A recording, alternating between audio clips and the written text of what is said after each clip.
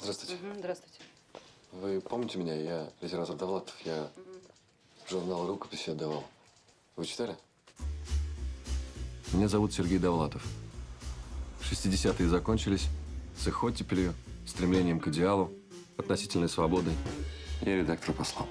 Ну вот молодец. Меня и моих друзей-писателей не печатают ни в одном издательстве. Во всяком случае, не печатают то, что написано искренне и всерьез. А если в СССР тебя не публикуют, и ты не член Союза советских писателей, то тебя не существует. Тебя нет. Довлатов, зачем вы это всем иронизируете? Вы способный человек, но сразу видно, что мало понимаете жизнь. Пишите о каких-то мелочах с вашим другом Бродским. Мне кажется, что мы последнее поколение, которое может спасти русскую литературу. Сергей, ты меня не замечаешь. Ты просто шутила, любишь жену. Я думала, ты в меня влюблен. Ну, не жесть перед ним, зачем тебе дичь писать? А ты пиши, пиши.